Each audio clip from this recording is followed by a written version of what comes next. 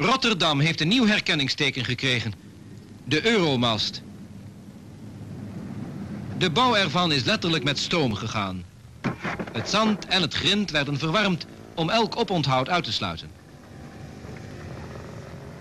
Het beton werd eveneens op een gunstige temperatuur gehouden en zo kon het werk in een bijzonder hoog tempo vorderen.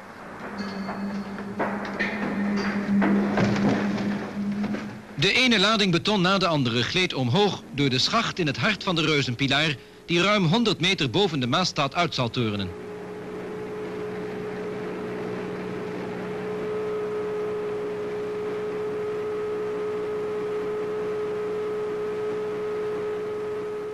Op het werkplateau bovenin de betonnen mast werd de specie aangevoerd en verdeeld over de bouwmuren in de 9 meter wijde zuil.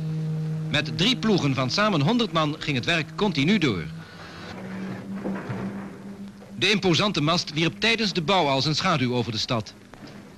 Het publiek waarvoor op de toren een restaurant en een uitkijkplateau met 900 plaatsen zal komen, hield de stand bij. Hydraulische vijzels trokken de zogenaamde glijbekisting waarbinnen gewerkt werd gemiddeld 4,38 meter per etmaal omhoog.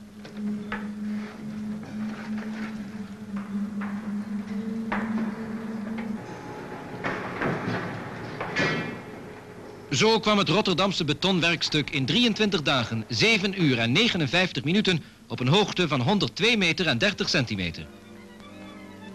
De uitkijktoren zal een der grote attracties zijn van de internationale tuinbouwtentoonstelling in 1960. Maar bovenal een symbool van de hoge vlucht van de Tweede Wereldhaven.